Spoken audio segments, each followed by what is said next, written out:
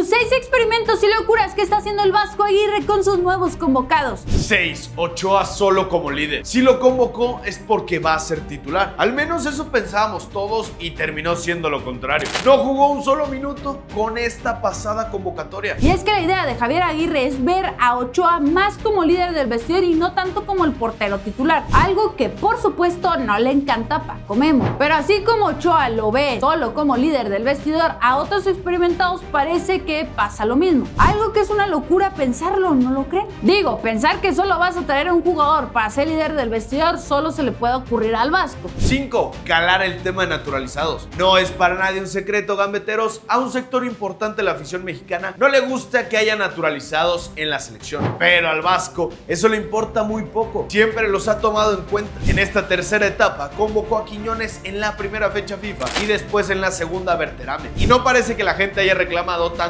como esperaba. Y miren, entre que el Vasco no le importa mucho que digamos ese tema para elegir a sus convocados y que la gente tampoco se mostró tan en contra, los vamos a ver más seguido con la selección. Ahora ya ha salido el nombre de Fidalgo para el 2026 y de verdad no nos debería de extrañar que el Vasco lo pueda llevar. Y como ya hemos informado antes, esta vez en la Federación Mexicana de Fútbol le han dicho a Aguirre que no hay límite para convocar naturalizados. Así que al no haber tanto rechazo, no les extrañe ver más de dos naturalizados en la lista final del Vasco. 4. Futbolistas jóvenes. La idea de Javier Aguirre no fue solo convocarlos y ya, decir que el cambio generacional estaba hecho. Había un experimento detrás de todo esto. Y es que Aguirre sí armó la convocatoria con varios jóvenes para de verdad calarlos y de verdad si traen con qué o no. Así de sencillo. Algunos la armaron, otros no, pero en la siguiente lista los vamos a ver. Es más, vayan haciendo sus apuestas y digan en los comentarios qué jugadores jóvenes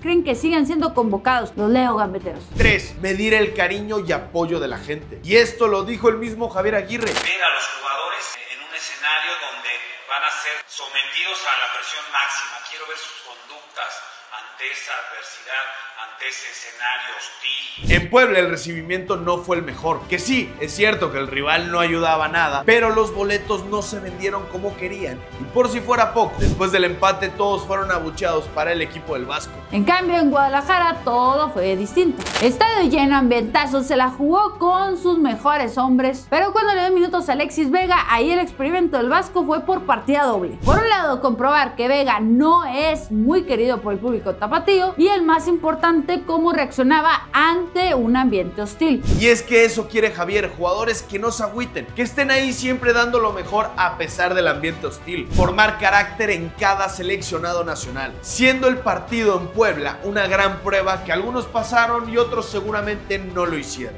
2. Definir a sus delanteros. Cuatro partidos convocando a distintos delanteros. Cuatro juegos en los que le dio minutos de juego a todos y cada uno de ellos. Y seguro sacó muy buenas conclusiones. Memote Martínez, Berterame, Santi Jiménez, Henry Martin y Raúl Jiménez. Ellos parecen ser los elegidos para el Vasco. Y con el nivel que mostró Raúl, seguro se queda con él como titular. Ya veremos si decide seguir convocando cinco centrodelanteros o corta alguno de ellos. Si la decisión fuera de ustedes, gambeteros, ¿a quién de estos cinco delanteros le darían las gracias? 1. Elección de jugadores antes que funcionamiento. Sé que suena bastante raro, pero ahí les va la explicación y sin duda es una locura de Javier Aguirre. Él mismo dio esta declaración previo a enfrentar a Estados Unidos. No me funcionamiento, me preocupa elegir bien entre los jugadores. No te puedes equivocar en la elección de los jugadores y lo digo por experiencia. Es decir, prefiere elegir bien a un jugador por lo que en una de esas le aporta al equipo, a lo mejor en el vestidor y no tanto en la cancha. Si un jugador anda bien pero no hace buen grupo, prefiere dejarlo fuera. Estos cuatro partidos los tomé para ver jugadores. Decía que iba a ser difícil que se viera un buen funcionamiento colectivo por razones obvias y que quería ver conductas de jugadores dentro y fuera del juego para elegir a los mejores 11 de cara